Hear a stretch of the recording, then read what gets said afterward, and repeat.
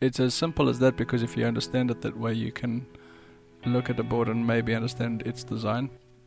You can stand on a wave and perhaps understand your role. And you can definitely walk away with a memory if you apply both those things. You want to surf better? Learn to knit. I'm fascinated by what I've learned only because of what I could learn next, not how much I know. If I forget what I'm writing within a few waves of a session, that's a good one.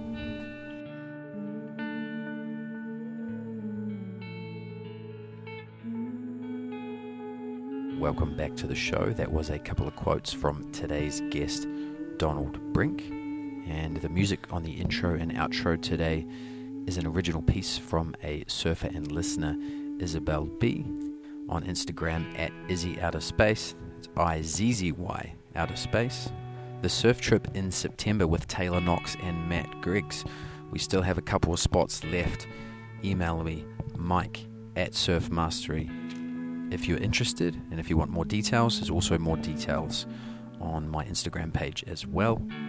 Also, looking to do a seminar on surfing and training for surfing in Los Angeles so if there's anyone interested as a participant or a presenter or perhaps even a, a venue host, please email me, Mike at Surf Mastery. A lot of positive feedback from the previous show with Devon Howard. And yes, there will be a lot more longboarding stuff in future. Some of you have suggested some shorter episodes, and yes, they are coming. But today's episode is a long form interview slash conversation and it's actually the longest one I've done. It's nearly two hours. It is with surfer shaper Donald Brink. Donald is also a fellow surf nerd and he likes to break down all of the aspects of surfing. This conversation covers a lot of topics. You know, obviously, a little bit of backstory about Donald and is there such a thing as a bad surfboard? We talk about technique, style, we get into some details about boards, wide points, rocker, volume, and overall just a great conversation. Donald is very intelligent and well spoken, and Donald actually has his own podcast as well called Swell with My Soul. So be sure to check that out. There are links to his show in the show notes, both on your app and on the website. Also, you can get there through his Instagram via my Instagram as well. Plenty of ways to find Donald and his podcast, and of course, his surfboards. I thoroughly enjoyed this conversation and learned a lot about surfing. So, big thanks to Donald. I mean, it's funny, you'll see people set up mics and then they leave a big coil at the bottom, and you're like, well, the impede, I think it's the impedance value. The capacitance and the impedance is what messes it up. And then also just running next to like 220 currents is not usually good. Well, did you study sound engineering? I did, yeah. After you left high school? Yeah. In South Africa? Mm-hmm. How yeah. long was that degree? Uh, it was just a diploma, so yeah, I think it was like a year of study and then practical training. I worked in a recording studio for many years, so yeah, it was it was really fun. It was it was frustrating because I really enjoyed it, and it I mean it was a challenge working live. Um, obviously, we were all good friends, so the band was really tight, and we played a pretty good music. But it's um I started to engineer and produce records and with some of Cape Town's best jazz musicians, which was amazing. But you end up in these positions where you're like getting called on to make calls or decisions in a recording that were important, obviously. But I was you I was, I was nowhere nearly musically talented like these people. Which isn't to say you can't call the shots, but it was frustrating knowing that I was musically only so capable. Knowing, I mean, give me a tool, I'll build something pretty easily, as opposed to fighting through the struggles of how I understand music were different and how naturally it was coming to other people. So I wouldn't say I wasn't in a flow, but I felt like I could flow better in other things. So I do miss it. I really miss playing the drums, but it's been probably I don't know. I haven't played a drum set in ten years maybe. So I miss it, but you can't do everything. You know. So maybe maybe one day I'll get a kit. Wh- what town did you study in? in that was in Cape Town, in Cape Town? Africa. You're yeah. from Cape Town? I am. You were born there? No, I was born inland, moved to the coast to Cape Town when I was 15. When you're 15, is that when you discovered the ocean? Uh, I wanted to surf, so uh, yeah, my dad got a transfer work-wise, and so we had vacation to the beach or the sea, and uh, so dad said we were leaving. I got a wetsuit. Within two days, I had a board. I, I was all set up. I hit Oh, the ground really? running. What? So you before you even moved to the coast, you'd Oh. already decided? Oh yeah, I was ready. Had you had a taste of surfing before then, or No, I, I, I think it was the. o- I just think it was the sea. There was something about the. I mean, I can remember the first time I saw the ocean. how old were you? I would have been. S- s- the way I remember it, I would have been six. Yeah, I did. You know, I grew up asthmatic. I was really sick as a child, like really sick. And um, at one point, the the doctor said it would be a really good idea to um start swimming, and uh, they said if you ever do or can move to the coast, that environment will be best for an asthmatic asthmatic child. And so that was was in the back of our minds. But um, I was the worst on the swim team.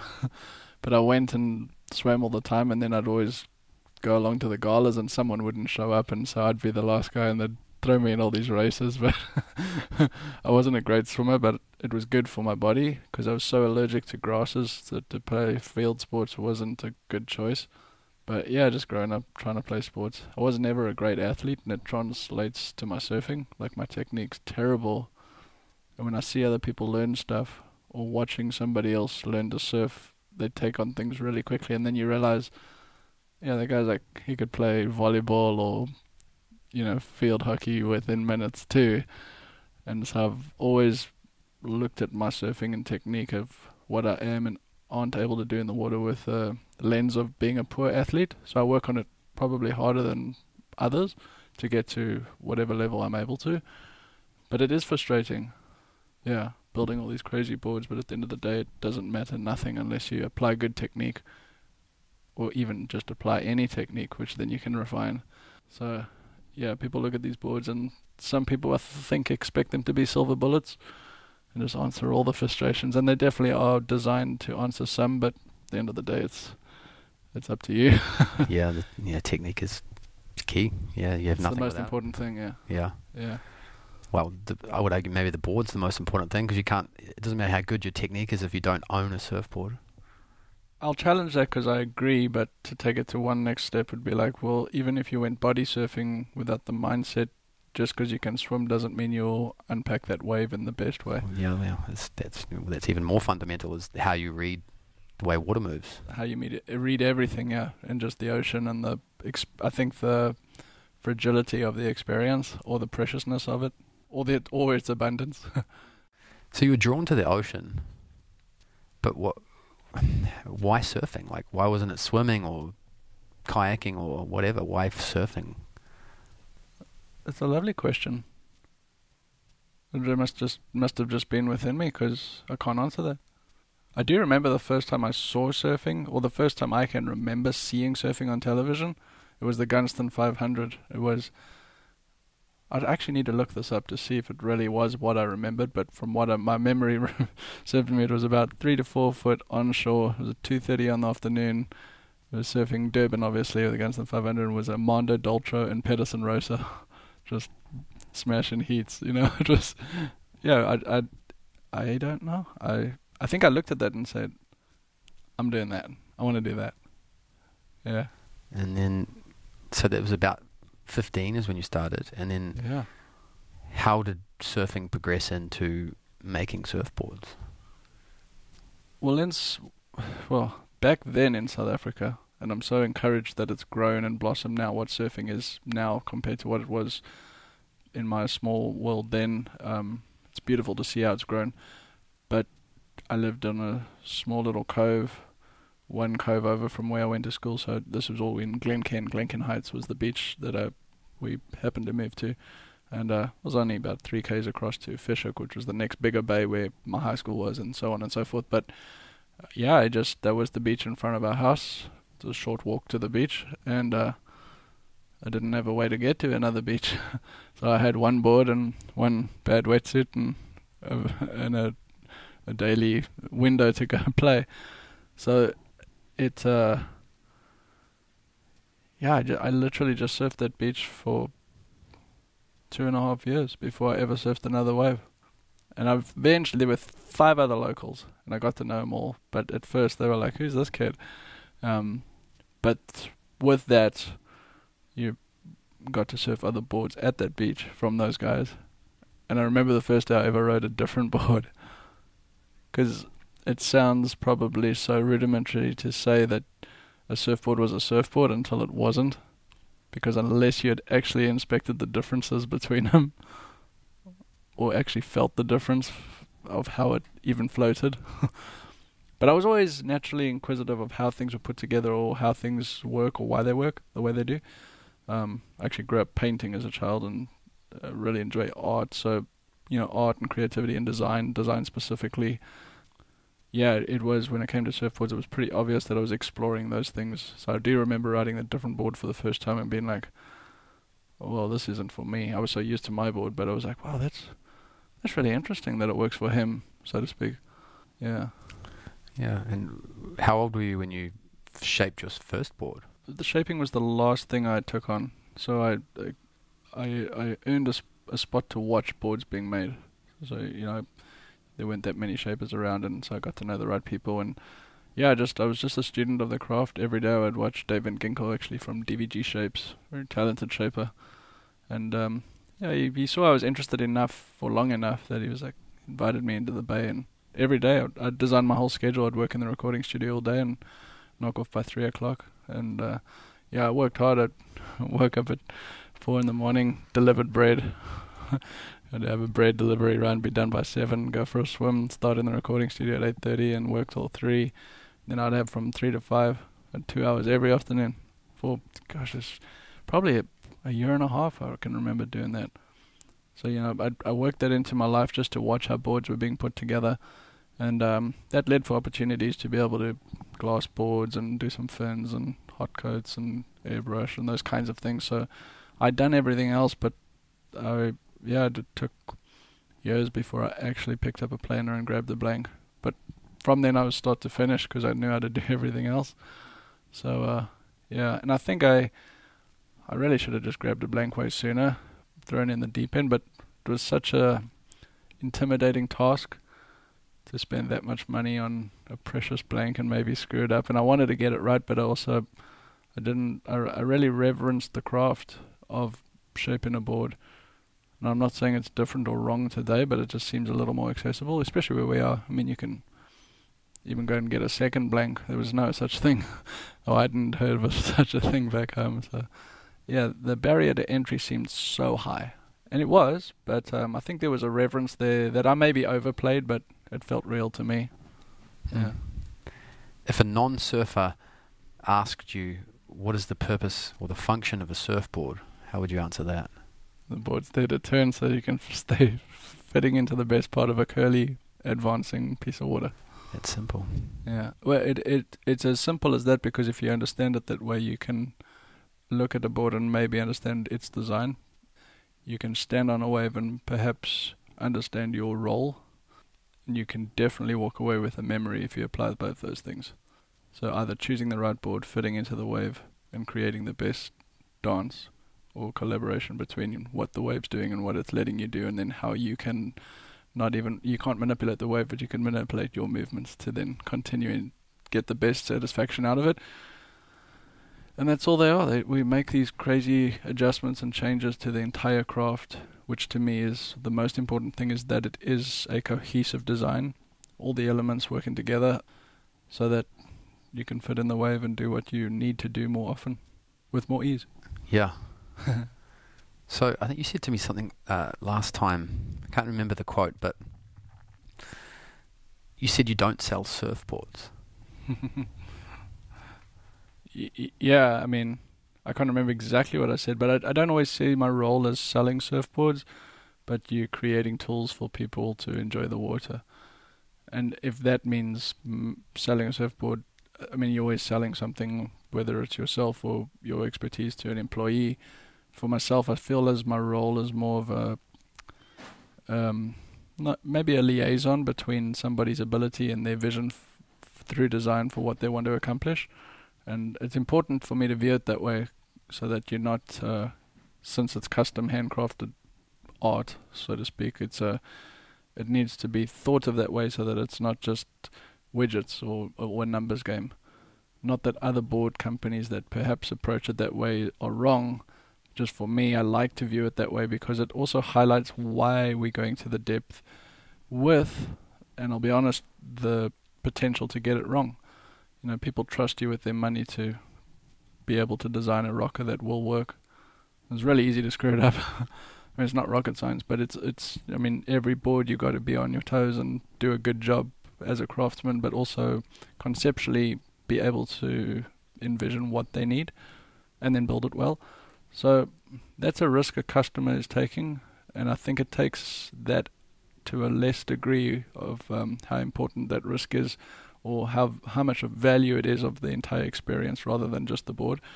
So it might be the wrong way to express it, but I like to think of it that way because it helps put the preciousness in what we're really trying to do and the value and how dedicated I am to try and get that right for the for the surfer. I build boards for surfers, not the sea. hmm. And there's a quote. Uh, I think it goes that people often people often say there's no such thing as a bad surfboard. Mm-hmm. Only you chose the wrong board for the wrong conditions. Yes. Do you agree Mickey with Munoz. that? Yeah, it's Mickey Munoz. Yeah. No bad uh, no bad waves, just uh, the wrong equipment. Yeah. I think it's that's how it sums up. Um, I need to answer that carefully. I okay, yeah, there's no bad surfboards, but if if any athlete were left with any surfboard, potentially an inferior one in this conversation, if you landed up with this board, you could learn to ride it. Now it might require a more athletic interpretation of what the board's consistently not wanting to be able to do, and then what you wanting to be able to do to dance with the wave. That's just going to require an incredible amount of skill. So I think there's a disconnect between how much ability you need to unlock a surfboard for what it's built to do, and if it's built to do something and it's built poorly and doesn't let you do that often that to me is a difficult surfboard. So it might not be bad, but those are broad brushstrokes because if you, as a designer, understand the hydrodynamic principles in a board or express what they should be in terms of a drawing or uh, explanation, and then go about your job poorly in crafting that, in my opinion, that's a bad craft, which could be a happy accident and still work well, but you have to hold yourself um, accountable to what you're trying to design. So that to me would be a bad representation of potentially a good design or a great representation of potentially a bad design. So you might build the wrong thing very well or you might have the right idea and do it very poorly. so those are bad surfboards because that's not what you were going for and you can't consistently get lucky or consistently just sort of stumble on magic. Uh, sure, it comes into play, but at the end of the day, as a designer and a craftsman, what do you want to do in the water? Where are your pain points? Where are the frustrating things? And can we understand this thing to a great enough detail to manipulate those things and land up with a better result? Mm. Does that make sense? Yeah. It's a difficult job because that v- vocabulary of what you want to do and also what's the most difficult thing where you're battling with or w- what are the pain points. To me, it's always the easier thing to look at than what do you not want to get rid of. Don't throw away all the good parts in trying to make it better. That's uh, that's the constant um, the constant dance. Yeah, yes, it's all relative too because you know if Kelly Slater gave you a one of his favorite boards mm. and you happened to be the same height and weight as him, mm-hmm it might be the worst surfboard you've ever ridden. It would, but I do think you'd be able to learn how to ride it. It's just that demand would be a long learning curve. Yeah. Yeah. But I think the beauty about that hypothetical would, if you had a surfboard that ha- a surfboard that had to be ridden right in the pocket, right in the power source, then it would force you to learn good technique because there would be no other way Yep. to surf that It's surfboard. the only way to make it go. Hmm. Yeah. And I think that's why people do eventually learn how to surf. Not even learn how to surf well, but at the end of the day, once you have a sensation of oh that that felt good or that worked or I made that section, hopefully you put start putting that little book of tricks together. The way I've looked at my, both my own surfing and watching other people develop, the way you put that little book of tricks together from one situation to another is buttered with style. But you start to, you can see people that surf really well, but they've got no style. But their book of tricks and their sort of reference of things to do and not to do from one board to another is actually very, very vast. And now it's the years of style will start to get better and better and better. How do you describe style? Well, it's the transition between the notes. So if you're doing a turn, a pump, a release, a twist, an air, exit a barrel, enter a barrel, like whatever those highlights are, so to speak, it's the let's call those the notes. It's the gaps between the notes. so it's the linking together. I, I try not look at it as a maneuver and then another maneuver. It's maneuver and then the gap between the next one. That's to me is generally the biggest dictatorship of what what is style and where it's lacking.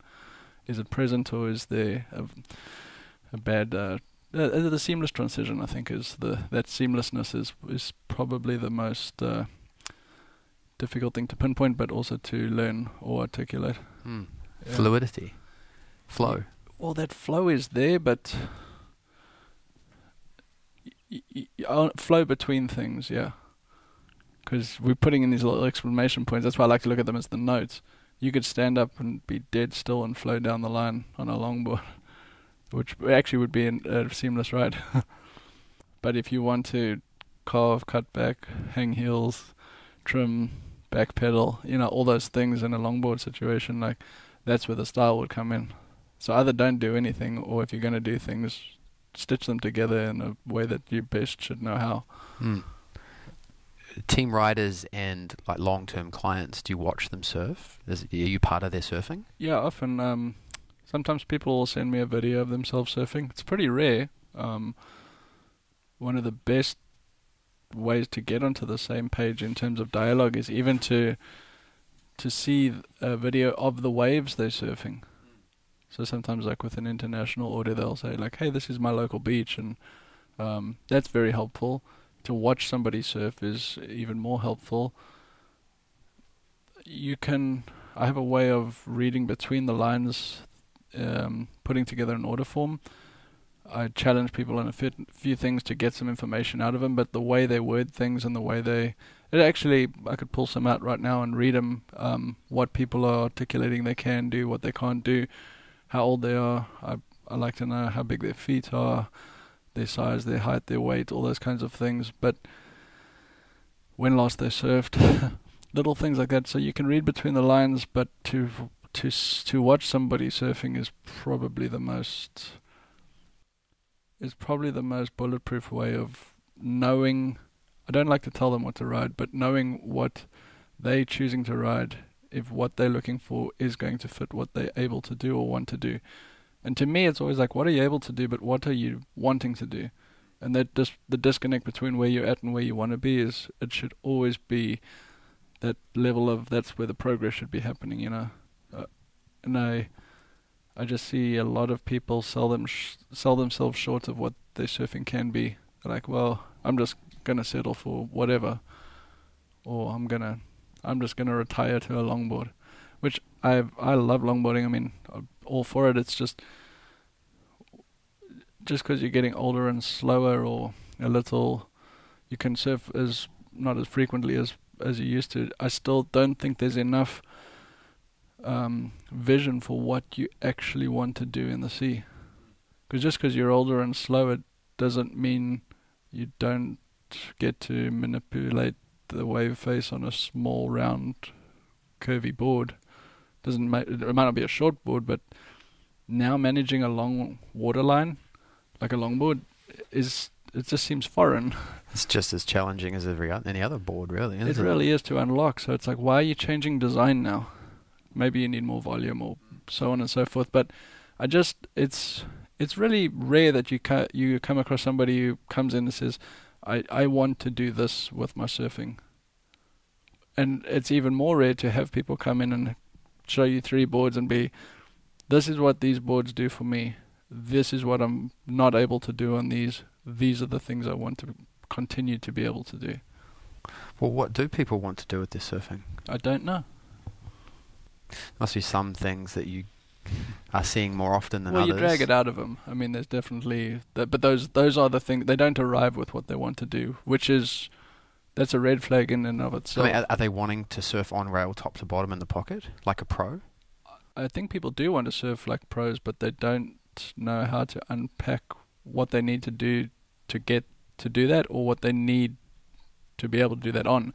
So, I think, I mean, it's it's it's, a personal choice. Like everyone should be wanting to do something quite different, but I think in today's day and age, people want to catch waves easily, and need to be able to surf inferior waves well. Because I mean, there are so many surfboards in this world. We we don't necessarily need boards. I'm not saying they're bad boards, but boards that work in good waves are many.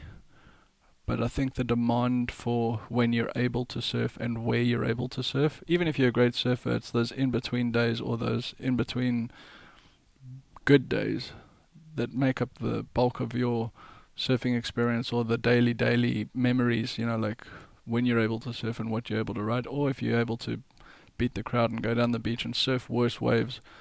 Um, and that's probably what I've dedicated my small wave grovel performance board spectrum to. Like just put all the focus in through asymmetry, particularly is trying to unpack opportunity for you to have fun in potentially difficult or weak canvases, because you know the water's getting more crowded, but also it's a great way to be able to surf either in less crowds or on your own.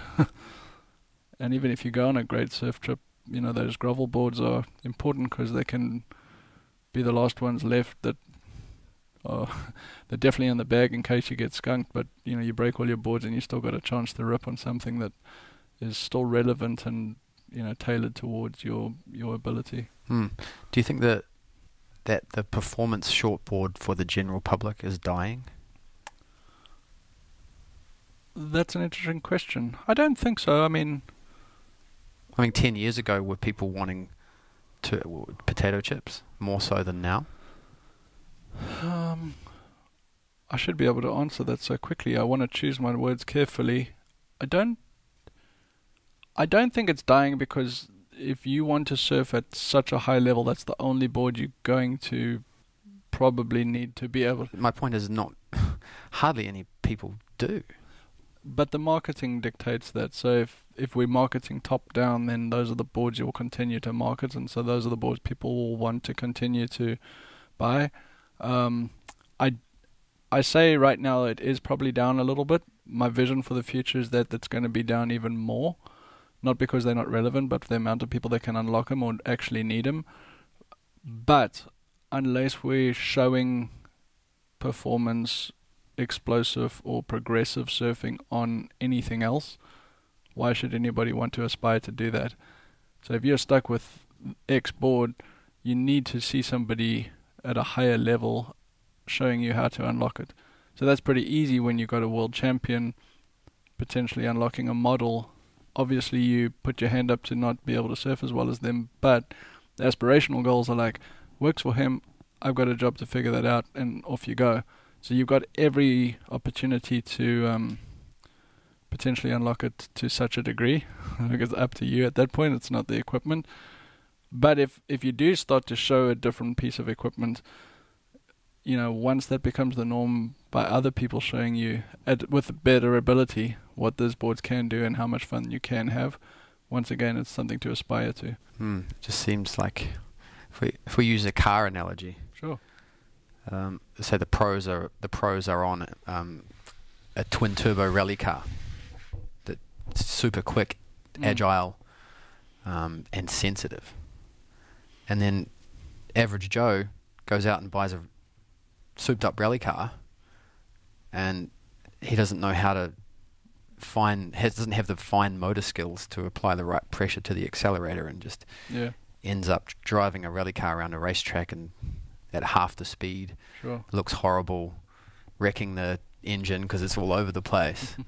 to me, that kind of is when I see average surfers trying to surf performance surfboards and average waves. I'm just thinking. I mean, I used to be like that. Sure. I mean, I think we all were. Um, and and this is a good point to to to discuss now. Is, but we were still having fun Yeah, definitely. because people look back and they're like, I can't believe we used to ride those rockered out, skinny, thin shortboards. And it's like the boards did not work. They were just very difficult to make work, especially in challenging conditions. But you're still surfing. Sur- surfing, it's so fun. And I, I've had this long conversation with um, one of my youngest team riders, and he's, I mean, he's just surfing so well now. It's been years. I built him all these shortboards for years and years, and watched him grow. And, and his dad came out of a performance uh, background, so he was a really decent coach and still is. And um, he was saying, you know, that when you start any other sport as a child, the basic objective's really clear. Like you walk onto a soccer field, and you within minutes know we moving this way as a team and putting this ball through that goal. So that's it. You get better at doing that, but the basic objectives laid out plain. When you go to the beach, you get to be in the water.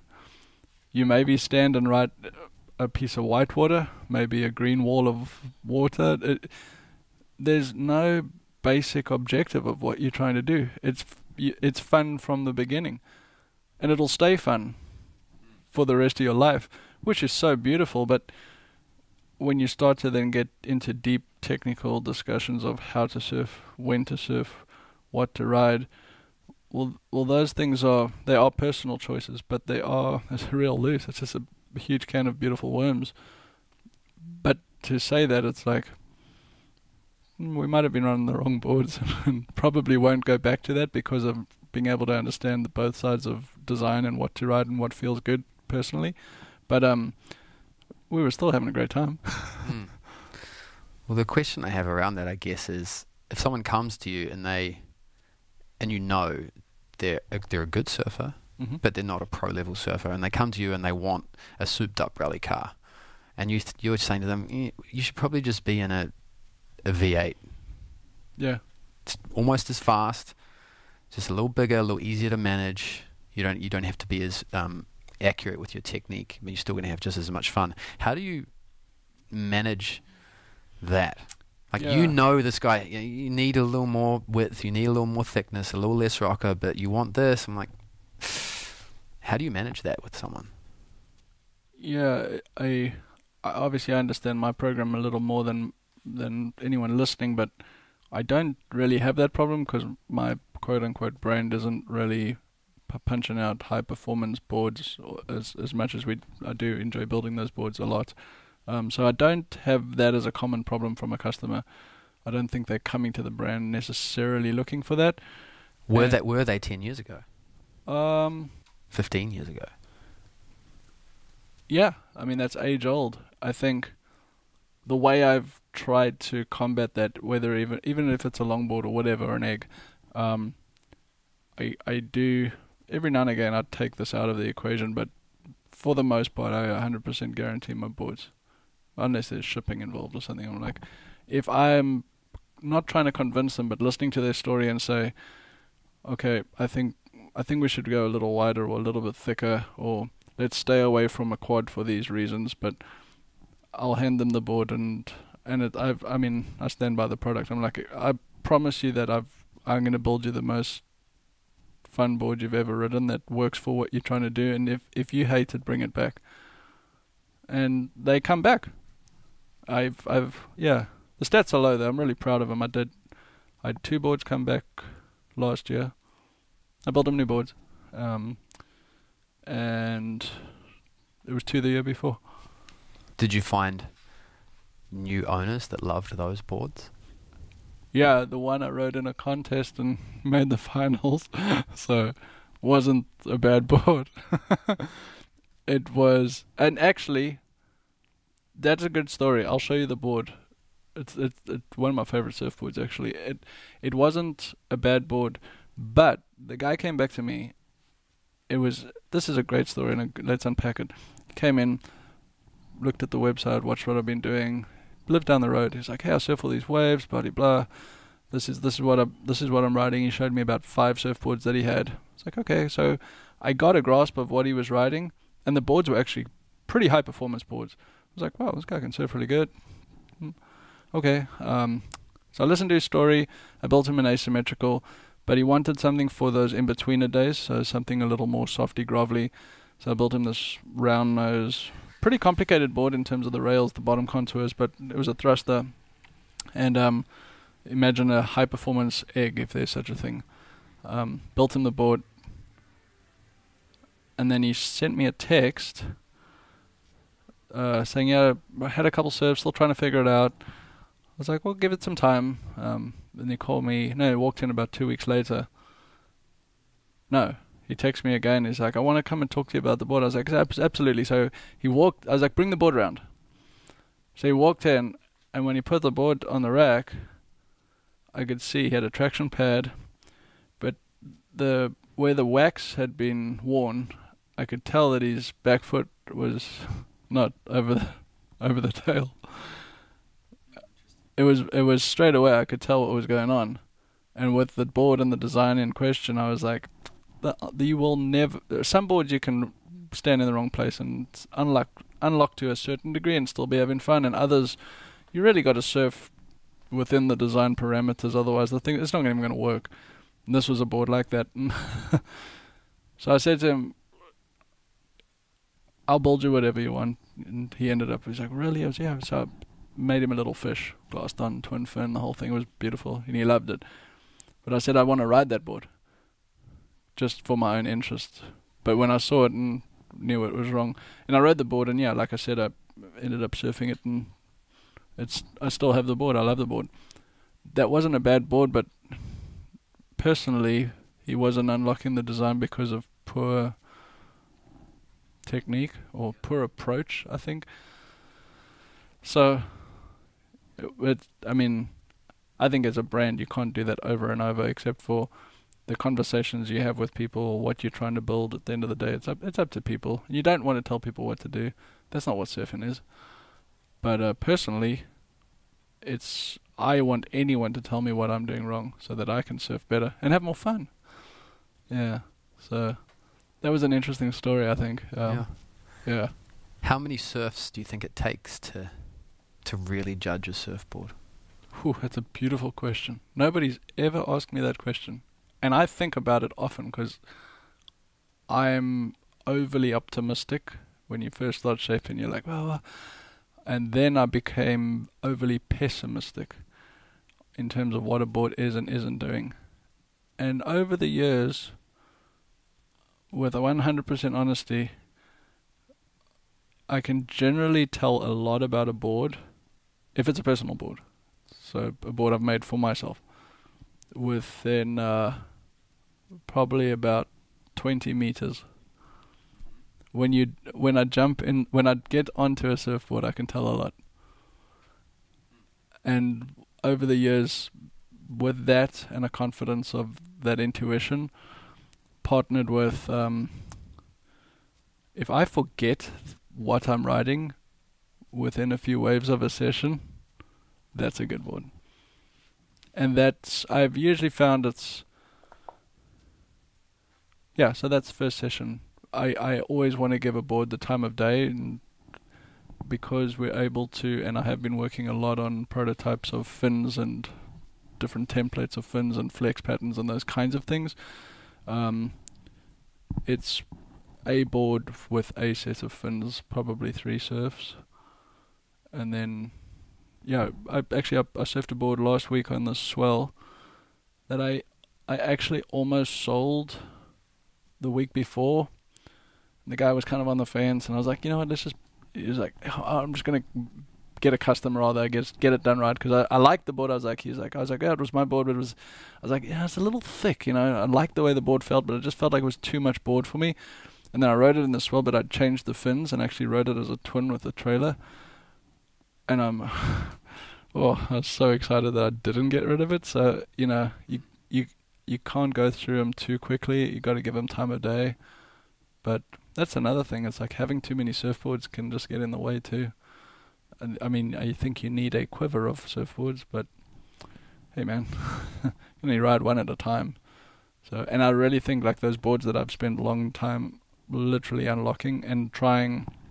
Some boards I've one board in particular I can show you and point out there I rode 12 different sets of fins in in about three weeks. Just spend time on that board, just trying to really because for I could understand fins better by staying on one craft. Mm. So, yeah, The best surfboard is the surfboard you don't notice. Uh, that's what I said. Within a- within three I like waves, that. you, yeah, you you just forget that you're riding a new board or a different board. And the best fins for that board are the fins you don't think about. Exactly. Because, like I said, the whole thing needs to be working cohesively. Yeah. Yeah, I think a lot of the time people don't give a board enough of a chance. I remember a board I got, and it must have taken me about at least 20 surfs. I got it and I hated it, but I bought it. I couldn't afford a different board. I just had to ride it, Mm. and I've, I figured it out, and it's my favorite board now. Was that the model you talked about last time? The Bunny Chow. Yeah. Yeah, Okay. the Bunny Chow, yeah. But now all your boards before that, I bet the wide points were in different place.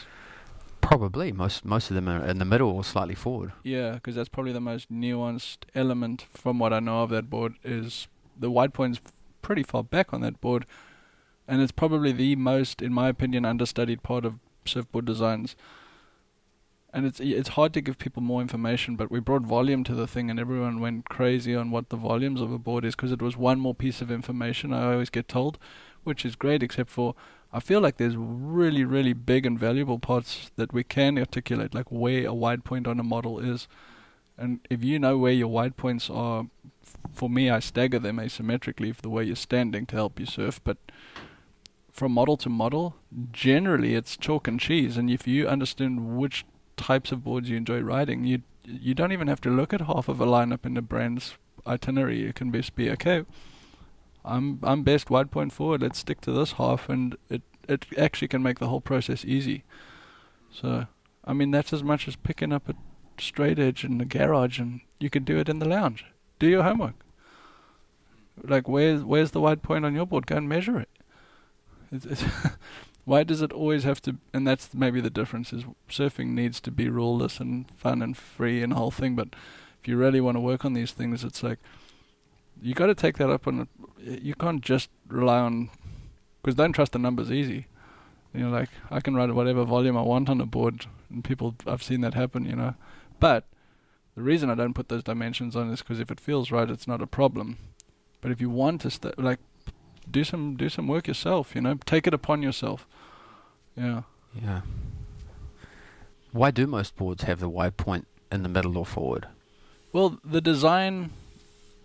Co- uh, Isn't hold on? Isn't that kind of relative to how long the board is, and w- the wide point probably needs to be at a certain place in between your feet, or near the the heel of the front foot. Maybe I'm not. Is it? Do you think of it like that? Yeah, I would I would think of it, and this is obviously that's why I said which which which types of boards are working for you. So wide point back doesn't mean it's wrong, just but for certain people that's what they naturally seem to unlock better when they surf. Um, But do you think, it, f f in my case, do you think it's the, it's where the wide point is in com- compared to the length of the board, or is it where the wide point is relative to the distance from my back foot? no, it's within length of the board. Is it so? So a, a, a shorter, a board that had the wide point in the middle, but was shorter, and ended up being the same distance from my back foot, it wouldn't give me the same feel as the board that has the wide point back. Uh, I would say no. that's a yeah. That's you've broken it down into a graph. I like that. I would say no because when you picture that board on rail as it should be on a long drawn bottom turn, on the best, most committed experience, most of that rail line length will be buried, right? So if that's five five, the the the deepest part of that rail being set would be where the water's focused and compressed against most. If you draw that curve really, if you extend the curve outlandishly, you can sort of imagine the water hitting that most exaggerated part of the curve and then starting, it'll still hug and hold the water, but starting to release and then go off toward the tail. So if you got a, say, a 5-5 all the way on rail, it's in the middle of the entire craft. So that sensation, because you're trying to control the whole craft, you're not trying to control just a back or front foot. Now it would be much in the same places where it is wide from the tail, but when the board's on rail, as opposed to a five eight, which all the way on rail, it's going to have a sensation of having a more pivotal reference between your feet, even though it's not. Three inches back is going to feel like you got that fulcrum is probably a nice way to explain where that compression point is, where the board's starting to pivot or ac- have an axis of trans of uh, transition on.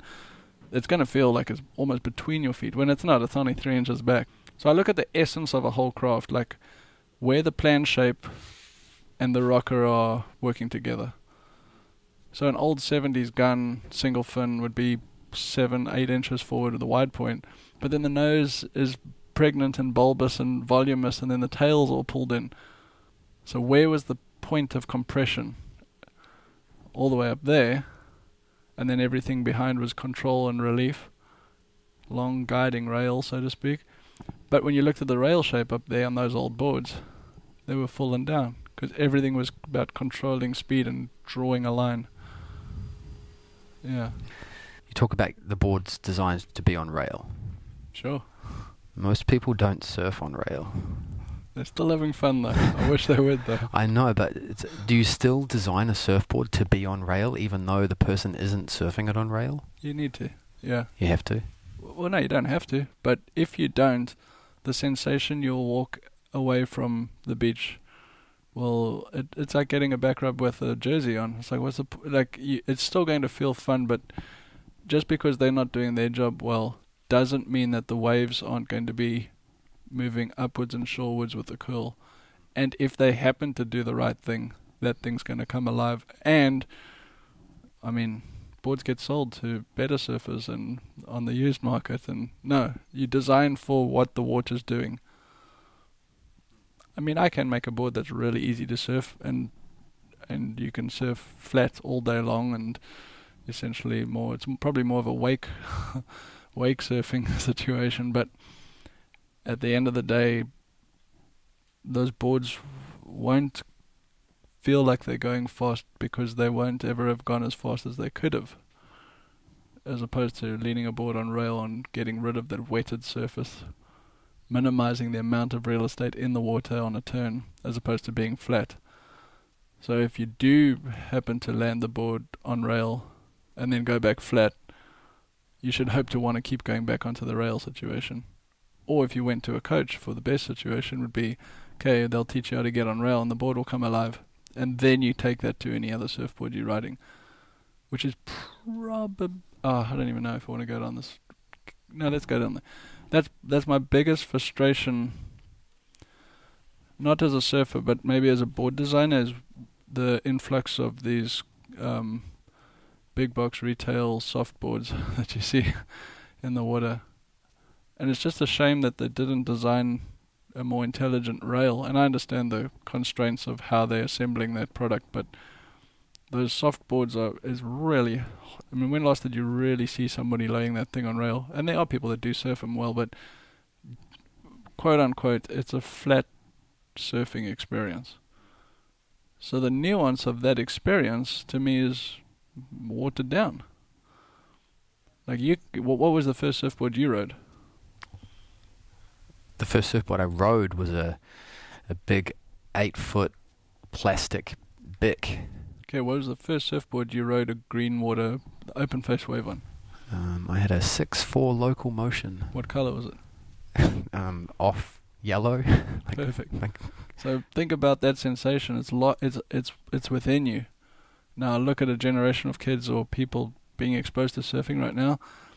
That sensation of your first open face ride is it's it's part of your surfing fabric, and the rail shape and the ability of that board to be locked in on a rail is I'm not saying it's impossible to happen, but it's it's pretty much defined into the accuracy of what it potentially could, even on the best ride, that kind of rail shape with that kind of bottom contour and those kinds of fins, quote unquote, broad broad brushstrokes here. Like the sensation in that design is, it's not wrong because it's still fun, but when you go back and I go back to my first surfboard experiences, the sensations of having a board flowing through green or blue water for the first time out of the white water, that was a good rail coming to life. And that those sensations you just explained them right now without hesitation. Have you ever had a client ask you, I want a board that's going to force me to surf on rail in the pocket? Yes. Yeah. And it usually comes after building them a few boards. Actually, yeah, another good story. Got a really good friend. I probably built him more boards than he's probably my longest standing customer, and um, he's a big guy. He's he's he's 200 pounds, but he's he's just he's tall and he's he's strong. Um, yeah, Tom. Shout out to Tom. And hi Tom. Yeah, hi Tom. He came in and um, I'd built him a couple of the boards and I'd let him try some other stuff because he's on the bigger end of the spectrum and it's re- he's really a valuable friend to have because I can give him something that's that part of a demographic, you know, like hey, is this how does this feel? How does this board with these fins feel? Because it gives me confidence in when I'm guiding somebody on the other side of the coast that I'm shipping a board to. So um, I'd given him some boards to try, and he came back, and he um, he wanted uh, he wanted a new board, and uh, he had sold one or two others or something, and he's like, "What are you thinking? I kind of like that board you had posted or a picture of something." I was like, uh, "No, no, that's it's still in development stages. That's definitely personal testing board." But um, he's like, "Yeah, I was thinking something like that." I was like, "No, that's that's too far off. I'm I'm wasting your time. I'll work on that design myself, you know." Um, but I showed him a couple boards, and I was like, "You know what? You need to you need to challenge yourself to surf more performance board." and I'm not telling you to get a short board, but I think you need you need to get rid of all the volume as an exercise.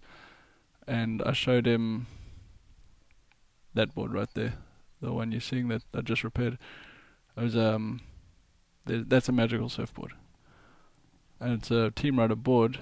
And I showed him that board, and I was like, "Look, obviously this is too small, but the concept of this board is the whole premise of the board is to be it's a fuller nose. It's only 14 and a quarter inches wide, the nose. Um, it's 19 and a half inches wide. And yet the deck is flat. So that board's one and just under two inches. It's it's call it two inches wide, two inches thick. But it carries it all the way to the rail, and then the rail's really down. And that board the concept of that board was to have a small wave, low rocker, groveling, still performance board, yet with the flat deck, your interpretation of what you are doing on the wave and the feedback, I like to say, the feedback from the wave with those down focused rails would be able to give you an interpretation of what you're supposed to be doing, what you are doing. So I was like, let's build you a board like that so that you can have a more performance sensation but the sensation is going to be what you're going to fall in love with. And I said to him, I was like, you you biting off quite a bit here. You know, like, are you willing to sign up to have a board that doesn't paddle as well? And and we built the board at six feet.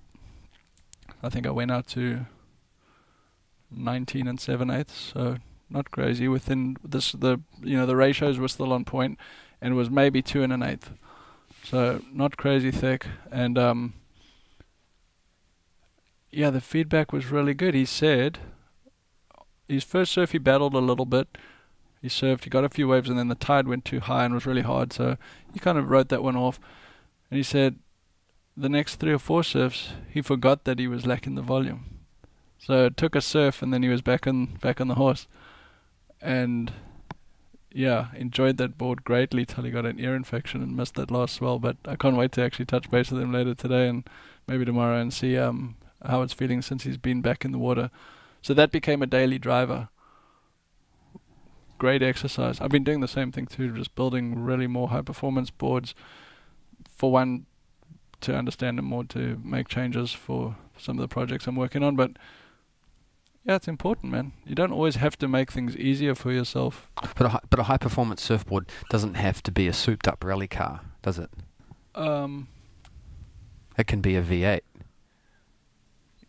Yeah, I think at the end of the day, in terms of surfboards in this conversation, I think once you got a pulled in nose and a tight down rail with a skinny profile, it's high performance just because of the way it does and doesn't float. Because you have to enter the wave with agility and the right. You you can't, you don't even get a chance to unlock the design with that with poor or inferior technique. You don't even get a chance to play nettle and turn and bob and weave. So that to me is where I draw the line on what is high performance and what's not. Because I can make you know, a six four egg that's a really high performance surfboard. It's gonna be easy to catch waves, but uh, are you able to perform at a high degree through that design? Yes, as opposed to a high performance board that where you can't even get into the wave, let alone articulate a good performance on it. So I, I actually think all boards are performance boards. it's just what are you trying to perform? That makes sense. It, it's it sounds counterintuitive, but I think it does make sense. I look at any board and I think it's like a real watered down performance board or a high performance within that genre. Yeah, I guess you could almost think of it to use music as an analogy. Mm. You could think of fast jazz as performance, right? But then you could also think of something really simple like a slow classical guitar Mm. simple song. Someone can still perform that song. It's just they're getting something different out of it. So if someone's on a big fat fish and they're not on rail, they're just cruising down the line, Yeah, but they're doing it with flow and style and grace and it's great. stuff. they're in tune with the wave. It's still a performance. Yeah. It's just not Maybe technical. competition competition performance. Maybe maybe um, technical is the right word. It's a really technical surfboard because you need. Yeah, that's a great word because you need good technique to even unlock it. And some boards are they're less technical, but you can still unlock them. So it's back into the surfers, the ball's back in their court. I think a lot of people benefit from riding high volume surfboards, so long as you're trying to ride them the right way and then when you go back and give yourself less volume, you feel like you're incredibly in control, and the thing's so nimble and agile. So it's good to go both ways, but that's that's a recipe for disaster unless you're trying to train. Yeah, it's interesting because I know, I know a, a pro surfer surfs really well. He rides. It's about my size. Rides about one liter less than what I like to ride. Which is, I like about a 28 liter board for for good waves, mm-hmm. um, and he's on a 27 liter. But then I know another pro who's the same height and weight as me, and he rides 32 liters on Mm. his high performance boards, which is it's so it's it is definitely relevant. He I think maybe he's just stronger and has better technique. I think it's harder when the waves are good to to get a, a higher volume rail in to the water when you're going fast. Yeah, I I I look at that and say I design around the pain points. So if he came in and said, "Look, I want this board," and the first thing you need to look at or ask or address or make sure you understood. Personally, I feel like, okay, let's say I make this board for you, and I do this often and say, okay, whatever it's in question, it's a, a groveling board or high performance thruster, whatever it is. I say, let's say we assume we get all the dynamics right and all the elements work together, and we've done what you asked me to do what's the one thing that's going to frustrate you most if you got this board? So we've checked all the boxes. Here's your board. You go surf it. What's the first thing that if it does, you'll be frustrated with? So for him, he would probably have said, "I just hate the feeling of not having enough board under me and that lack of volume." So as a designer, then I can embrace volume and maybe tweak other things so that he can have control, but make sure that just don't not giving enough volume, which is hard to do. But for his sensation, and I, I would say I'm the same way. I love a high volume board, and it is hard to surf high volume boards on rail, especially in tricky situations or on long, powerful carves sometimes. But you can pull the rails down, but that's also starting to get into a risky territory design wise.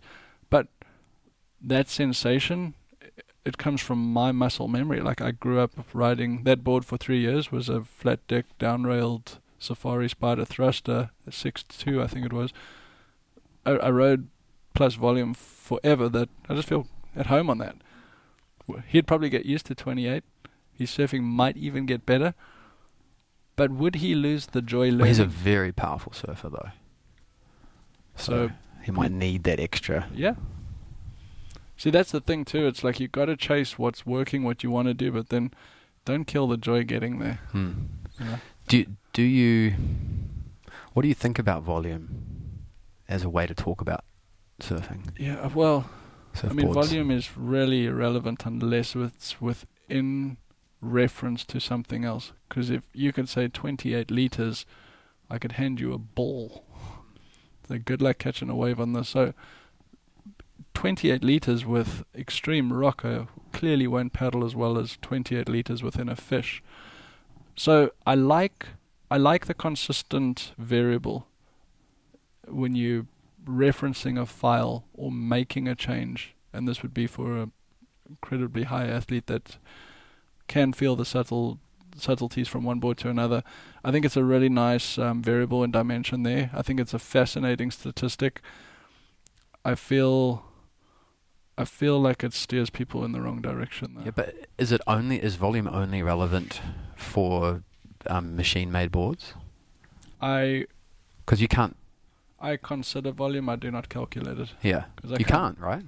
I would love to have a sink tank or a chamber, and I think that would be a fascinating um, trade show booth.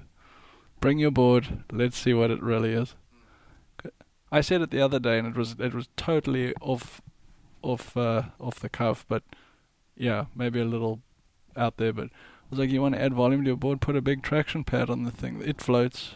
Like it's just. Are you looking for volume to catch waves or have freedom in a big or diverse lineup, or are you like your friend is battling to he's oversinking the rails?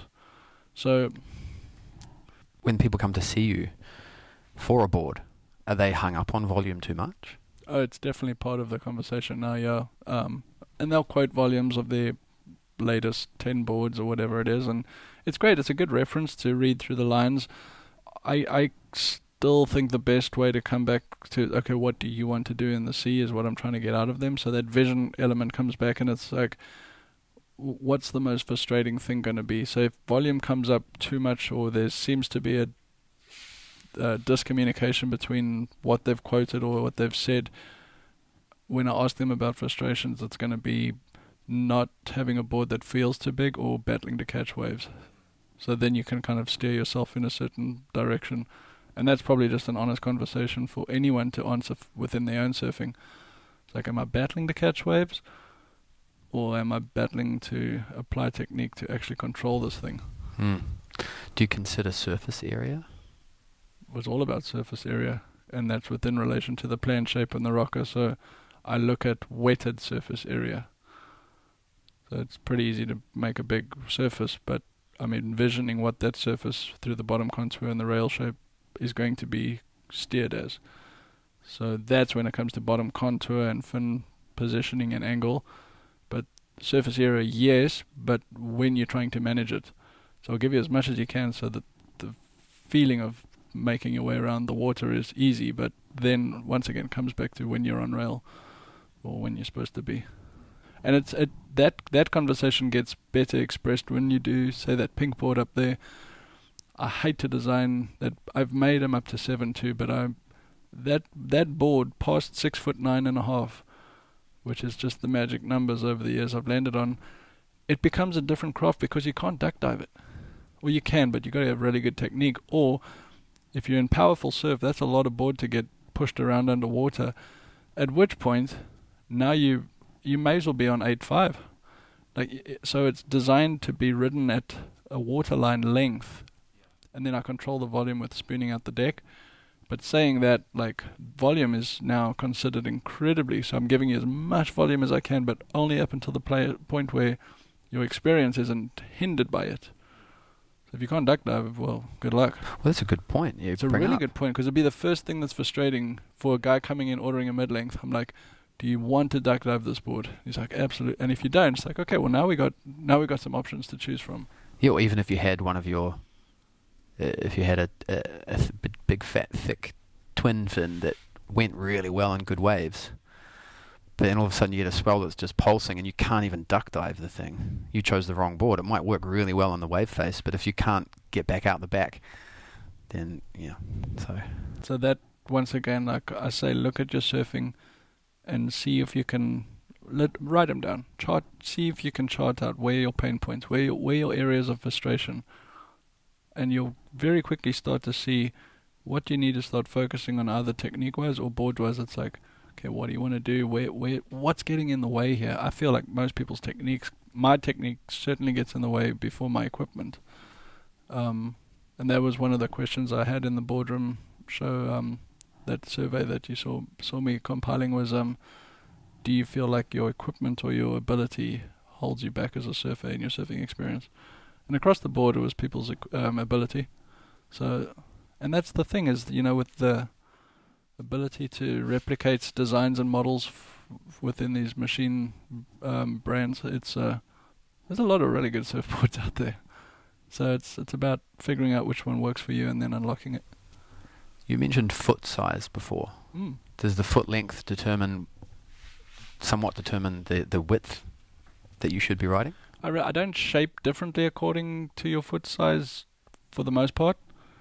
I mean, boards are naturally bigger than your feet, but it's an interesting look. You're driving the entire craft, starting at your feet into your knees, waist, hips, shoulder. You know, it's your whole body, but your leverage ability bigger feet is of huge value. So if you are, and I, I mean, some of even team riders over the years they, I mean, obviously they surf really well and they have small feet. I'm not saying they're not, they can't surf well, but that's just a harder task for them without as much leverage. And often you'll see somebody, you'll come in at whatever their height, width, and weight range is.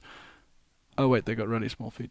So straight away, their ability to unlock, no matter what you design, is going to be essentially powered with uh, less less of an accuracy. It, that would be a really interesting study, is to see who's who's on tour and like the average foot size on tour. There must be some sort of a algorithm to be able to hide all that stuff. But Well, it would also matter. I mean, uh, some people surf with their foot at 45, some people at 25 degrees, that front foot. So that determines how long your foot is hmm on either side of the stringer at the angle you have it too. yeah, Yeah. W- was it you in one of the podcasts recently talking about having the toes slightly forward to avoid injury? I think it was um, Clayton. Yeah. Oh gosh, I can't wait to meet that guy one day. I I really respect his ability to explain what surfing is, and also uh, clearly his vision for board design and how it's supposed to be used and what it's used for. Yeah. Yeah, I respect him as a. I've never met him. Yeah, but always see his boards coming through Cape Town from Durban years ago. A couple of the guys used to ride Claytons, and they were always white, white, white with the red and black logo. They were, oh, they looked so good. Yeah. There's a on the there's a South Africa there's a there's a word you South Africans use. There's many of them, mate. Transition. Transition. Is that even a word? It's transition. Rosie Hodge says it all the time. Transition. It- Do you of mean surfing? transi- transition? Sure. Is it? Is it just a, like a South African slang? Uh, we don't even notice it.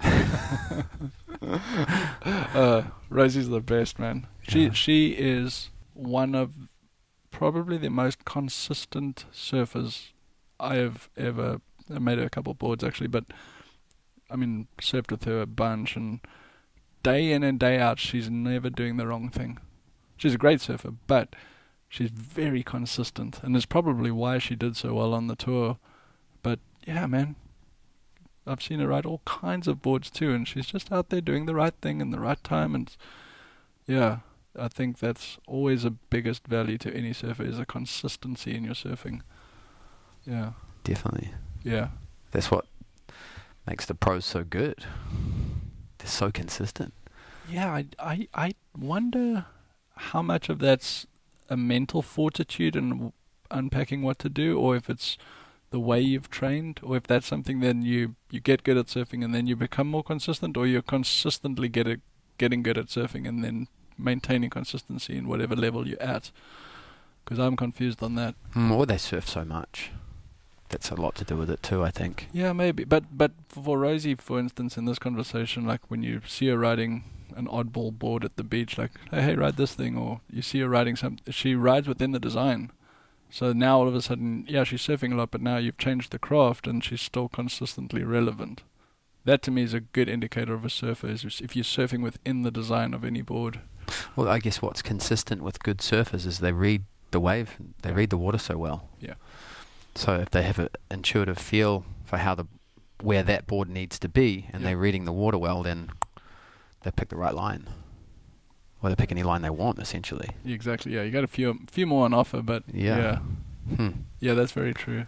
But no, you're right. I mean, yeah, Clayton, the way Clayton breaks down, that he he changed my perspective on how to surf a board on rail the most out of any coach I've worked with. Yeah, yeah. I'd encourage people to go back and listen to those two Yeah. two episodes you've got with him. I think it's um, man, uh, I've referenced the that um information pretty often. especially I met Clayton about two years ago, or first interviewed him, and my whole surfing before that, I was always looking at the down the line or at the top of the wave, and what are Clay- you doing now? looking on the bottom.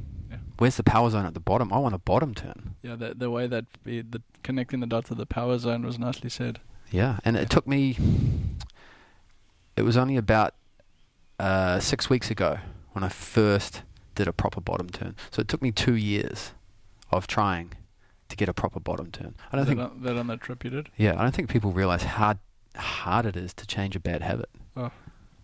and how how demanding it is. To, if you can get a surfboard on, on 45 degrees and all your weight on the front foot ready to spring off, that is that, you got to be strong. You've got to have good alignment. Yes.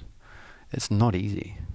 It takes a lot of focus to change the average shallow, not on rail bottom turn into a proper bottom turn. And um, the first one I did, I f- was flying to the top of the wave with more. Sp- I didn't know. I couldn't do a top turn. I was going way too fast. I was like, I'm going to break my leg if I try and change direction. It was phenomenal. That was on your front side. yes. That growth and um, technique. Now that are you able to translate that onto your backside with with that not muscle memory, but that sort of understanding now of what that sensation is? I've always found it easier to do a bottom turn on my backside. Uh huh. Yeah. So why is your board the same on both sides? Good question. That's all I'm saying. Is like for me the asymmetry. I'm not trying to reinvent the wheel. I just looked at the common frustrations or the ability to leverage and reference oneself on a wave face, and your muscles and your body infrastructure is just it's just different, you know. Yeah, for sure. Makes complete sense. Yeah. Yeah. I, I yeah, that man, that whole bottom turn thing. It's so. I want to ask you though. Is so you, you, Clayton explains that you go out there. It takes two years. You get to your first one. Do you remember it now because you've done one, or you're you just constantly trying to refine what you put into that one? Well, I, I I actually put, I had to put two pieces together before I got it. So Clayton gave me the intellectual piece. This is this is what you need to do. This is what you need to focus on. This is how you do it. You you don't twist. You lean into it. Yes. Get that board on rail, 45 degrees. If when your board's at 45 degrees to the water, that gives you. It's the same as jumping off a flat surface. You've Yeah. got to, you can push as hard as you want to jump. And then one of the other re- more recent interviews I did, well, I did two in a row. I did I interviewed um, Taylor Knox and Yeah, then Matt Griggs, That. Yeah, enjoyed that. and you've if you don't focus 100% on changing that one thing, and you've got to focus on one thing. Exactly. So you you go out there, you don't even. The only way I managed to do my that first bottom turn was just okay. I don't care about a top turn. Yes. All I want to do is get into the wave in the right place, drop down straight, get it on rail, get the bottom turn. And as soon as I was so single-mindedly focused on that one thing, that's the only way I got to do it. And I also combined that with another thing that um, that Matt Griggs said was that you've got to get in touch with the feeling first. So I spent a lot of time in the gym in front of the mirror, trying to. I basically had a picture of Julian Wilson, his bottom turn, and I wanted to my body to fit. How do I get my body to look like that? What does that feel like? And what I started to realize is it feels like you get this.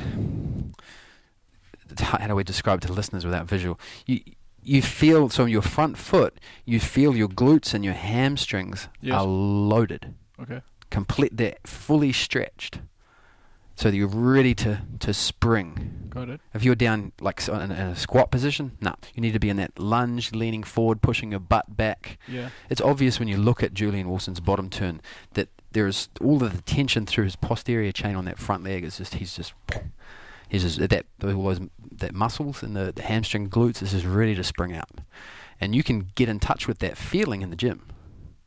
And then when you focus, you go, "Alright, all I want, I'm going to drop down, straight into the wave, fast as I can, using gravity, get the board on rail, and I'm going to mimic how does my leg feel, and can I lean that elbow towards my front foot and to try and touch the water.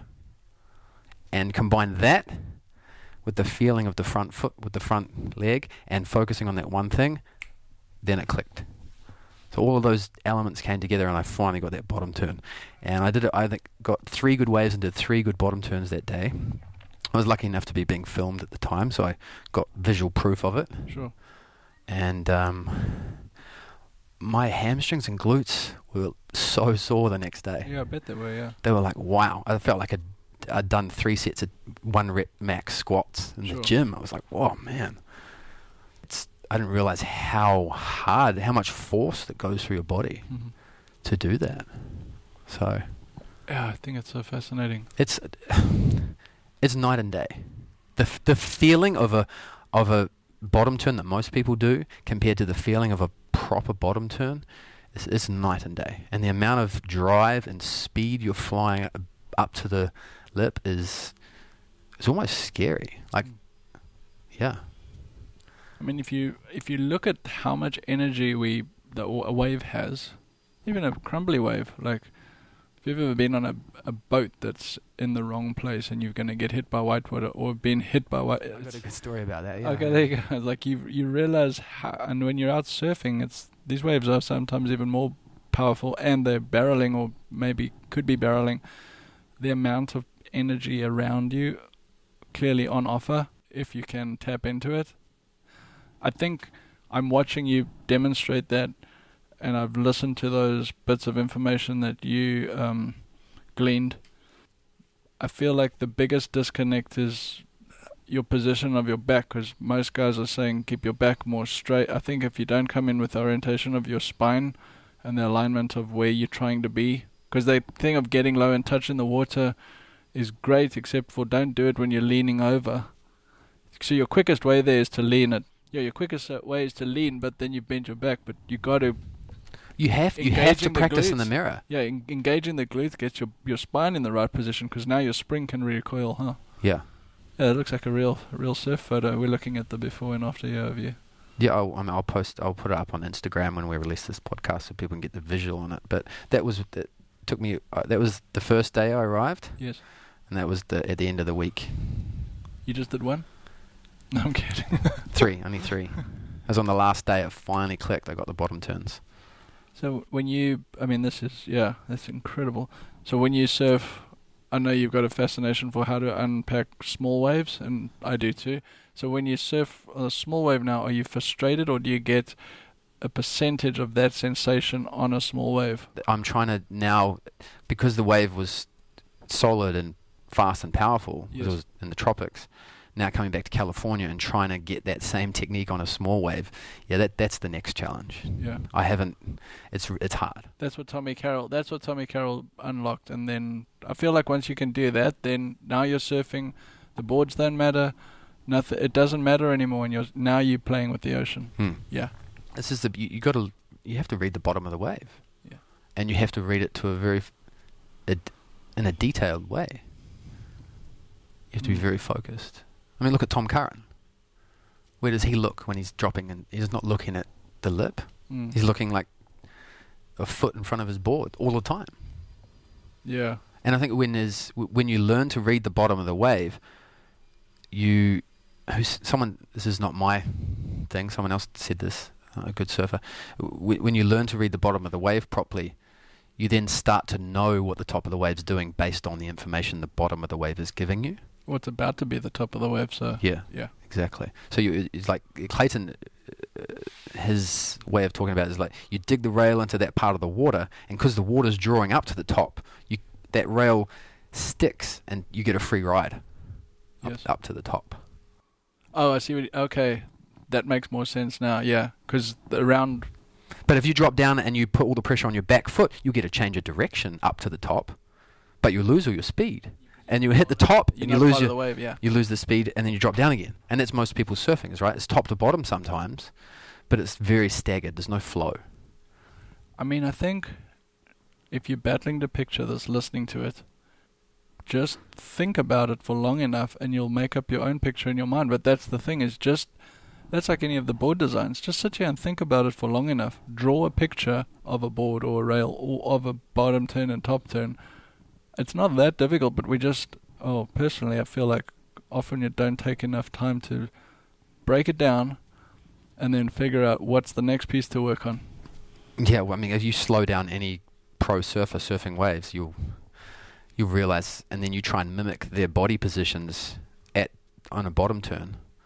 You realize, oh, I don't do that when I surf. I'm not that low. My elbow, my forearm isn't touching the water almost. Yeah. I'm not fully compressed into my into my knee and my hip with a straight back, etc., etc. I feel like the future of surfing though is really in technique. It's not necessarily in design. I think designs that let you do things you'd never be able to have been to to do on anything else is really progressive, and I'm dead set on trying to be able to be part of that. But I'm excited to watch you start to articulate how to. I like those two points you listened to. I like how you put them together. I like how you've done the muscle memory. I'll tell you now what I'm working on, but how to explain how to do that or make give a faster track to um, being able to do this in small waves is the future of surfing. Because I look at these wave pools, I look at like I once again crowded situations. You end up surfing inferior waves. Once the best surfing is happening when you're able just to look at that whatever wave size and be able to unlock it. Like I think that small wave situation, in terms of, of unpacking what to do there, is the most valuable thing right now in surfing. Yeah, yeah. I mean, look at golf. You've got the driving range. Tennis, you've got the ball machine and a coach. Well, generally the beach we've always got something small to play on, so that's why I look at it as a golf driving range. It's like at least if you can learn, it's the hardest canvas. Yeah, it's a driving range in the wind and the rain, so you can still hit the ball, but you got to be better. It's almost like it's it's like the driving range, but you're underwater. Yeah, something's It's changed. like- it's, it's against you, but you still you got a chance to play. Yeah. But now the wave pools are going to offer that precious, not yet, but soon, Yeah. the preciousness of a wave.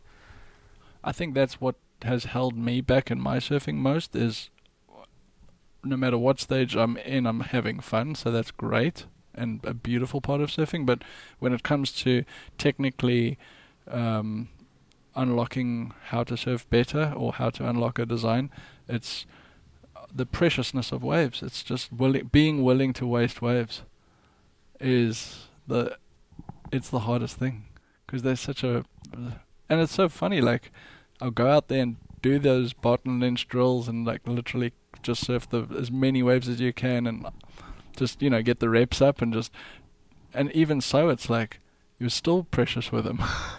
I don't know if it's uh, because I love it too much or what what gets in the way, but I think that's I think that's probably the biggest barrier to progression is just being willing to go out there and work on one thing at a time until you master it. Yeah, it's also the willingness to to go too far as well. So. So most most people know what it's like to do to try and do a bottom turn um, too far out in the flats. Oh right. and bog rail and lose all their speed. Everyone knows what that feels like, right? Sure. Everyone knows what it feels like to to to drive out away from the power of the wave and bog rail trying to come back. Yeah. Right. But do you know what it's like to fade too far into a bottom turn and just get eaten by the whitewash and get the board on at 50 degree? You lean over too far, too far back, and you're going through a bottom turn and you look up and you don't see any wave face. It's all whitewater. You're too far back. When's the last time you did that? Yeah, you went too far into the learning curve. Uh, yeah. Like you think of how Kelly Slater used to surf in the 90s, like almost way behind, way just almost surfing in the whitewater. He wasn't even, you know, remember that stage when he was just like, doing foam climbs and surfing super deep? That's why I look back on that era and I'm glad we're not in that right now. But people belittle those boards somewhat, but a narrow surfboard will let you be on 45 way quicker.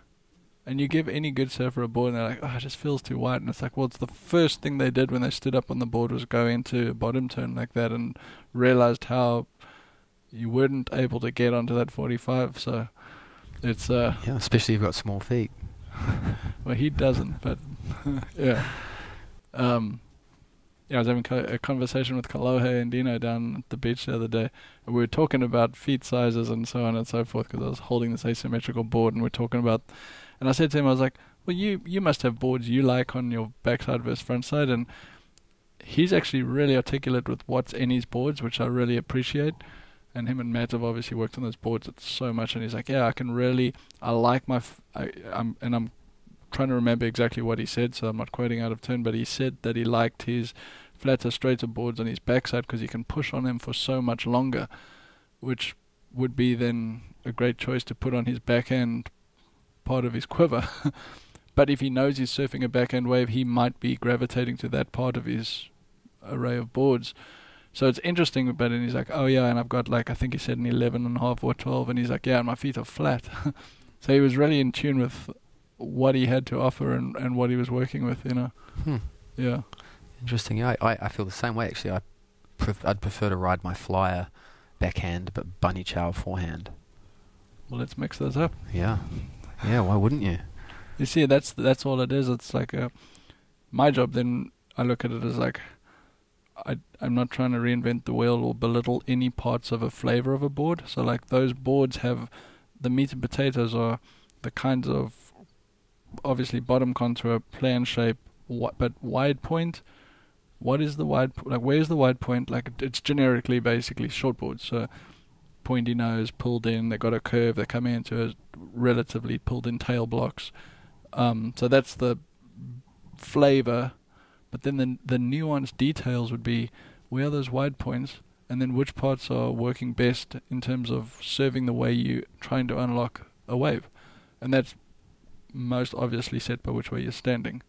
So they weren't bad boards, but you were able to tap into certain parts more readily on one and not on the other. Yeah, it's fascinating. The surfboard. It, yeah, it's so simple. Yes, it's yeah, it's riddled. Simple for uh, you. But but it but when you look at most other designs, I mean, it's we're not going that fast, and it's not. Most of them work fairly well. I mean, there's a world of details, but they are pretty simple. But just getting those simple things right is is such a task. Yeah, it's it's it's funny when I've been working on my surfing, and it's I think it's classic. Like anything you're trying to do, you get too um, focused on one area and then forget all the other things that you had either gotten right or had worked hard to to um, include. And um, yeah, I've really been trying to work on more like one line surfing. So just no double pump of the bottom turn, just one bottom turn, and it's all good and well except for when the waves aren't great. It's really hard to do that. So with that in mind, whichever, whichever waves I'm surfing, I'm working on the same thing so that I'm learning it across a whole spectrum or a variety of waves. But what happened was, and I went for a surf on. uh, a couple days ago with my te- with team rider Ian, and he's got such great technique and he's very consistent too, you know. And so I always I'm getting two cents from him every time because I've asked for it. I'm like, hey, where am I going wrong here? Because I want to learn. And um, we walked away from the surf, and I was like, man, I've been working so hard on like single power maneuvers, like single drawn lines, but I feel like I'm surfing so heavy all of a sudden, so I'd lost that liveliness because I don't generally surf heavy footed. Like I'm fairly hot doggy and lively, but trying to work on those single maneuvers, I'd flattened everything out so much. So now I've got this, but it was great because I realized that I was like, yeah, because I, I when I got it right, it felt great, but that liveliness in between was lost, and so now I've got to backpedal a little bit and figure out. I feel like I'm missing one piece in between. The flow. no, I was trying to flow too much. I think Oh. I lost the flow. Yeah. You, uh, there you go. Yeah, yeah, yeah. Yeah. Yeah, being so intentional to just be trying to flowing from one maneuver to another, but yeah. Overthinking. I, I still don't know if it's overthinking or thinking too much about just one thing. You know? So too focused instead of a broader view, you know. Yeah, overthinking one element maybe, yeah. Hmm. Yeah. Yeah. So, you've entered the podcast world. I have. Welcome. Yeah. I feel I feel like fully ill equipped and um under under um under equipped should I say. Yeah. No, it, it's it's good. It's um I'm excited about just sharing I have these conversations about technique and rails and rocker and fins daily and to maybe capture some of them and share with people. And I'm I'm I'm appreciative of what I've learned say from your podcast in particular about trying to literally just hear somebody's perspective which it's amazing the things I've gleaned from those certain episodes that might have fallen on deaf ears to somebody else but for me at that moment it meant something. And I look at the podcast thing as fairly evergreen material you know the way we're going to be unlocking waves is not going to be much different even if the boards change in 20 years so Yeah. to add to that conversation of what surfing is and Yeah. It's timeless. it really is Yeah. If you want to learn more about surfing, the information is always going to be timeless. Yeah. It's of course, it's going to evolve and boards are going to evolve, but the ocean's just going to keep doing its thing and mm. we're going to keep going in there and trying to play with it. yeah Yeah. do you look at your relationship with surfing as playing or is it uh, a combination of that and a physical exercise i mean how So it's always different. it is Yep. I think it's different every time. What's I think what's consistent though is you're getting outside yourself, you're getting in into Mother Nature.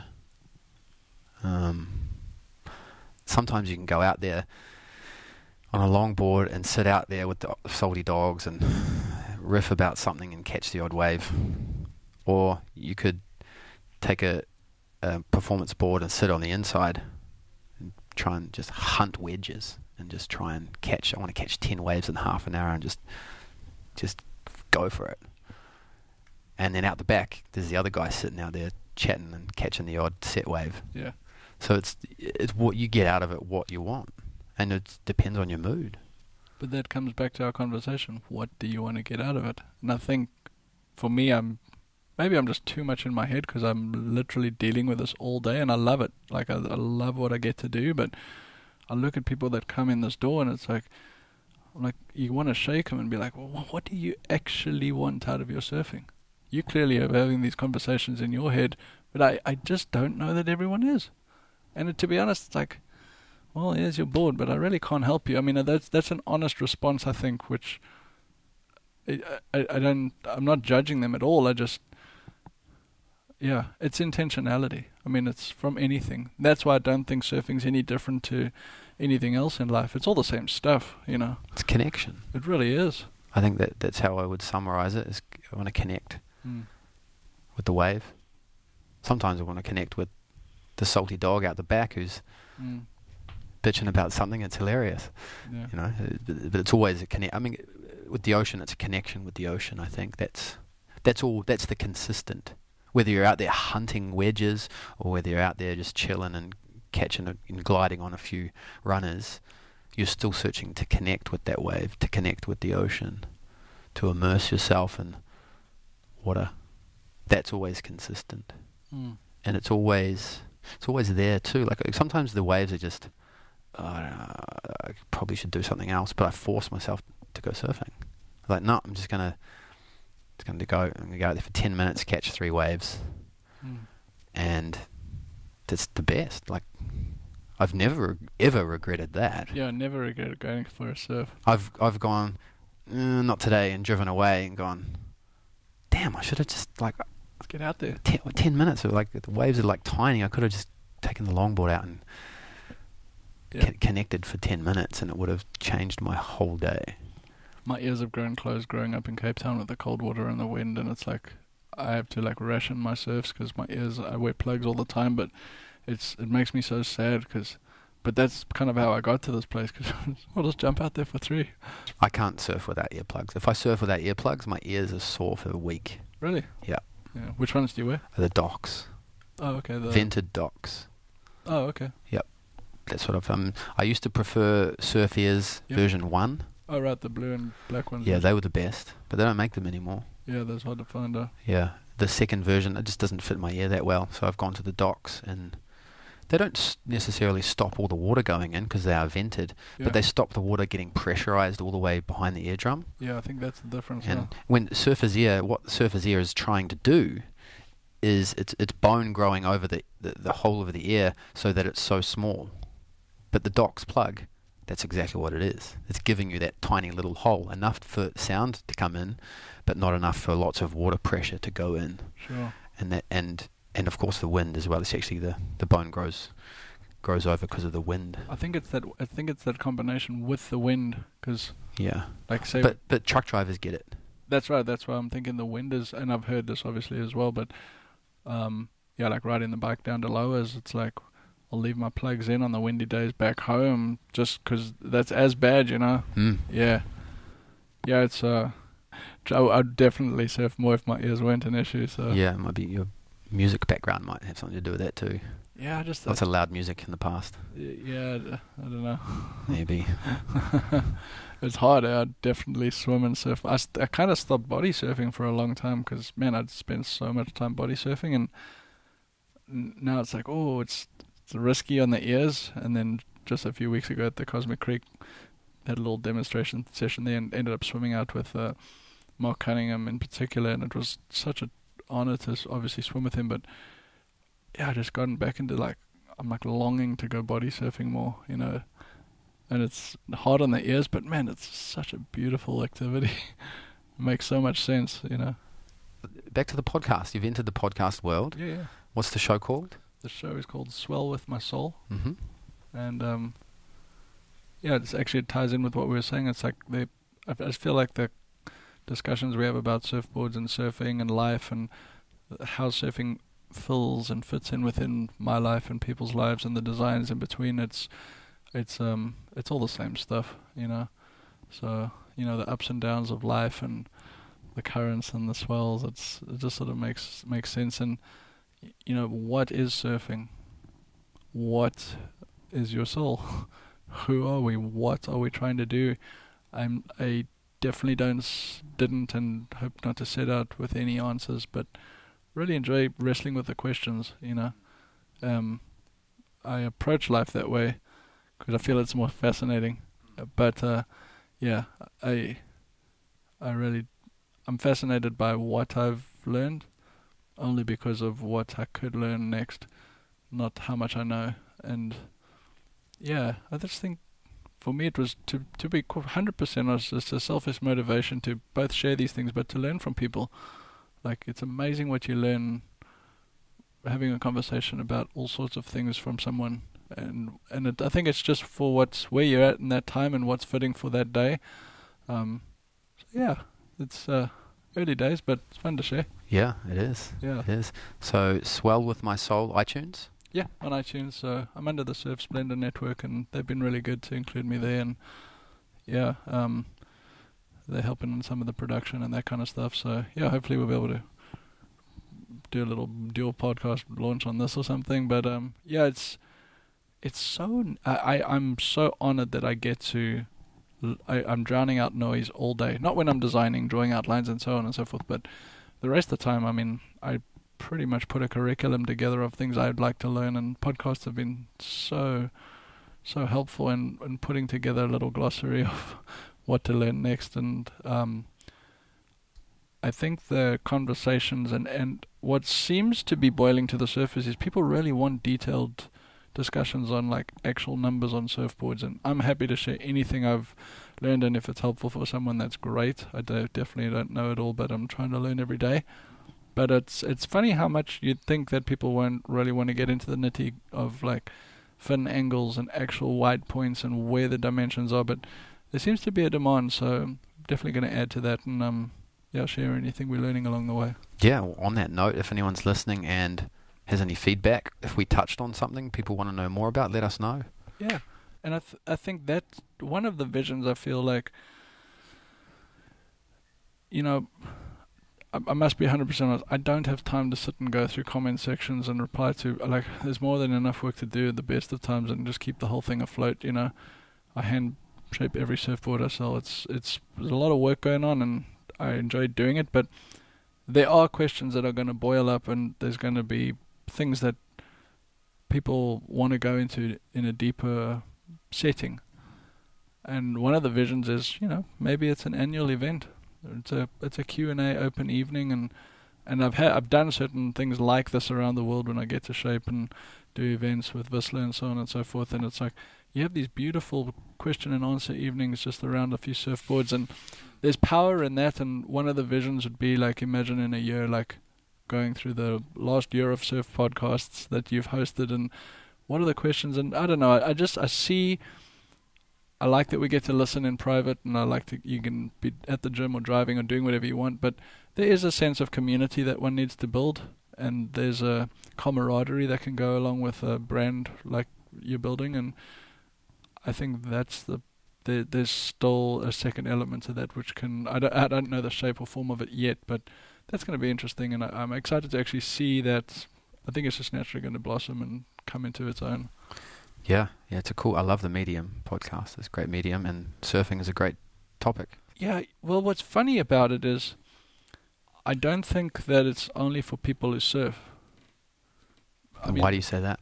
Because of the, so for me, uh, okay, for instance, I understood that the mental fortitude in trying to learn something and having to stay focused on a task while you're learning something is is huge importance. It's ubiquitous, yeah. Yes.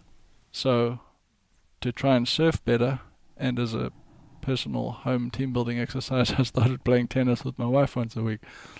And I went to the thrift store and we got old wooden tennis rackets because I wanted to lower the perform and we're not tennis players. And we've gotten way better. Every week on a Sunday afternoon, we'll go play tennis. But it was a great exercise to see okay, can I apply my mind? So it had nothing to do with surfing except it was all the same disciplines. Okay, I'm working on an entirely different hand eye coordination activity, but mentally I could break down the technique. So it helped when I go out and surf, and it's like, okay. And I think Clayton was talking about putting those um, those uh, what did what did he say? Those mental mental um, cheat words or cue words or something like yeah, that. Something yeah, something like that. But like, oh, he's probably pulling his hair out. Sorry, buddy. Just a word, something something to remind you to focus on one thing. Yeah, like little flashcards, um, trigger yeah, words. Trigger word. There we go. It. We got it finally. And and so I was like, okay, well, let's go into an entirely different discipline and get those trigger words. And I've learned so much through other podcasts that have nothing to do with surfing, but I can re- apply it to my craft as a craftsman, then also to my surfing. So it's all the same stuff.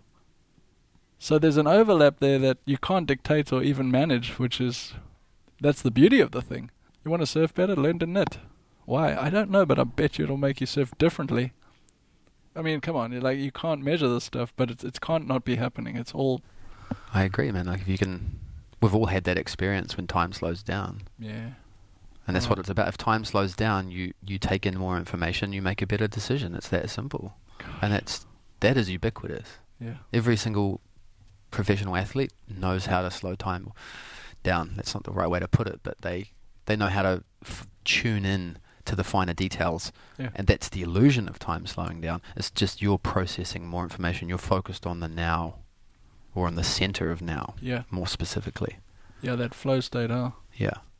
I've been uh, listening to uh, Finding Mastery, which is Michael Gervais, and I I don't know if it's just more recent that I'm getting to that state more often when I surf, but I I actually said to my wife just a few days ago, I was like, man, I, I hate I don't wear a watch. I like I just hate being tied to something like that and having something else on. I was like, I I think I need to get a watch because often I have a little window to go surf. Often I don't, and that's a luxury, which is great. But I lit I literally have lost track of time lately. Just unlocking a board, and next thing like the wind stops and five people get out, and next thing it's just two or three of you out there, and you get this opportunity to work on fins or whatever it is, and absolutely lost all sense of time. Not being irresponsible, but just you get into this rhythm with the sets and pushing off a bottom like that wooden board sitting right there. I I felt I felt like I'd surf for 45 minutes and it was two hours and 15 minutes. I, I was blindsided. I I could, and and it was overcast, so the evening light like you couldn't see the sun setting, and it just it felt brighter than it was, and yeah, that was I had to fire off a text. That's what like, we're, that's what we're searching for, man. Yeah, it was really a beautiful I mean, thing. how long do you think we've been talking for? Uh, okay, kind of getting used to the podcast thing. Is uh probably hour 24. So hour fifty. Whoa, 25 minutes. That's a huge. so we've never percentage. nearly done two hours. That is ridiculous. Yeah, time goes fast. Yeah, and I think for podcasting, it's great because if you don't like, just turn it off. You don't Yeah. have to listen to this. Of But there's something to having a long conversation. Now that's why I think we're supposed to eat dinners together. You're like, you know, it takes a long time, and you eventually get to places where you wouldn't have just, you know, like a little stab in the dark. Oh, wrong words. but a poke in the side. yeah. Yeah, no, you're right. Yeah, we wouldn't. Yeah, there's probably a lot of people that in the first 20 minutes of this conversation dropped off because we were just kind of finding our way. But if they stuck through it, then That's what a podcast is. I think. Yeah. like look at Joe Rogan. A lot of them like they start off, but the next thing you know, it's a it's a three hour podcast. that's how you surf too. I actually had a really interesting conversation with my brother-in-law, and um, he was like, "Do you ever just have like a bad surf and you just can't get in the rhythm?" I was like, "Yeah, absolutely." But I've realized my I can feel it happening straight away, and then I'm like, "Okay, how quickly can I reset?" And the goal is then to like be able to get yourself back in and then turn it into the good one. And it's it's mentally too, but like next thing and and how often I've now turned when I just feel off into magic sessions, man, and it's such an exercise, but you you I, I don't know what it is, you just find your groove again and I think it's different every time, but just being intuitive to what that thing is and how to respond. Yeah. Yeah, part of the there's a sequence of a, of events you have to go through to get into the flow or the zone. Okay. And one one of the things that you usually need to go through, it's not, it's not always the case, but um, we use it to help people to like to kind of open the floodgates towards getting deeper into flow more is the the concept of struggle. Mm. So, so sometimes it's like, especially if the waves are big, and it's like, oh man, okay, I- I made it out the back. I was like, just you just famished, but then a wave comes, you just spin and go without thought, Mm. and then warm. Then you're in the zone. It's that struggle phase. And in the like in training, when I'm training people, we, we use that as well. Okay, you're gonna go. You're gonna f- five minutes on the bike as hard as you can, and then we're gonna go re- visual reaction and decision making af- after you've been through that struggle. Mm. So that can. There's a when you struggle physically through something, Yeah. there's a whole bunch of neurochemistry that happens. That Hundred percent agree. yeah, that that that's more con- and that neurochemistry is more conducive to flow. Sometimes flow just happens, right? Oh. Like you're sitting at the back talking to someone, and then all of a sudden there's a set wave, no one's on it, and you spin and go, and you're like, boom, boom, boom, pull off the wave and go, what happened there? Yeah, you can't even remember what you did on the wave. Huh? Yeah, Yeah. and it's just like you're so outside of yourself. So So, sometimes flow can be completely spontaneous like that. Sure. Mm. So to that point, so uh, yeah, when they had that uh, was it the Founders Cup at the pool?